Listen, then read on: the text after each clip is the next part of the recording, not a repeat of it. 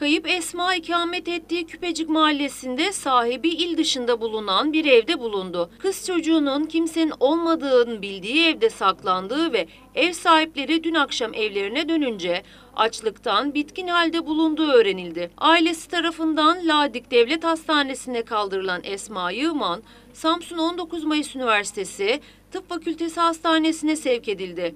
Samsun'daki hastanede gerekli tedavisi yapılan ve sağlık durumunun iyi olduğu öğrenilen Esma Yığman'ın bugün taburcu edildiği öğrenildi. Kızlarının bulunması üzerine Yığman ailesi büyük sevinç yaşadı.